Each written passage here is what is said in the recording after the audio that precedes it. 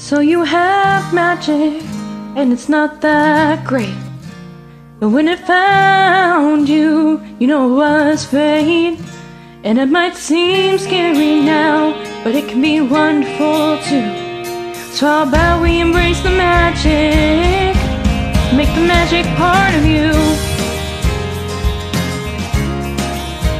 You take a little dash of magic and you let it ignite. Mix things up a little bit and it might start to go right. In just five seconds flat, how the story has changed.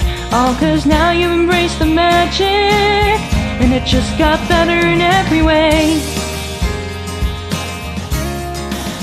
I say embrace the magic. No more holding back, just let it out. If you can take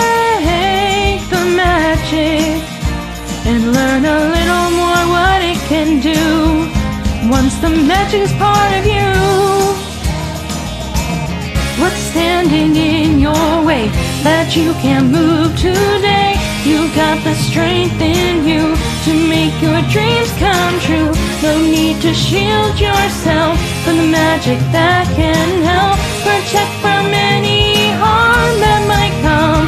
So you have magic, and it's not that great. But when it found you, you know it was fate. So if you listen close, you might make a new friend. And together we can make it. I say embrace the magic. No more holding back, just let it out. If you can take the magic and learn a little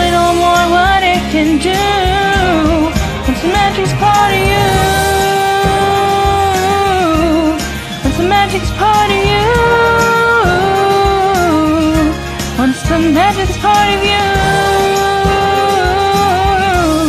the magic's part of you.